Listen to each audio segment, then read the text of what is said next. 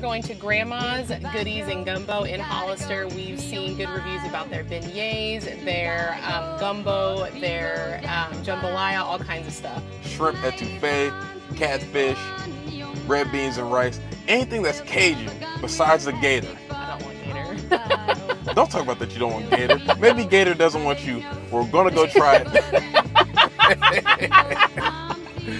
So okay. let's go on out the house and see what they're talking about. All right, everyone, we are at Grandma's Goodies and Gumbo, and I ordered the red beans and rice with ham and sausage, and it comes with potato salad and cornbread. And Jeff, what'd you order? Like it's supposed to. I got the catfish, and this is real live caught catfish, and that's why. Let's go ahead and try it out first.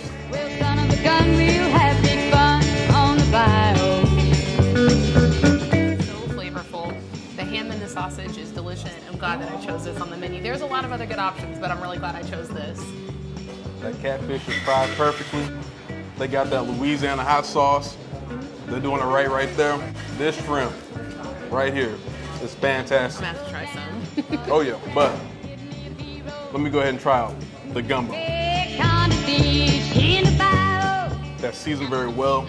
There's a lot, it's jam-packed with meat. It did not skimp and it would go perfect with the cornbread. But next up, we still have beignets. If you've never had a beignet before, think of a fried donut, but better. Beignets right here in Hollister, Missouri. Mm-hmm. These are the real deal. We came from Ozark. This is definitely worth the drive to come to Grandma's Goodies and Gumbo.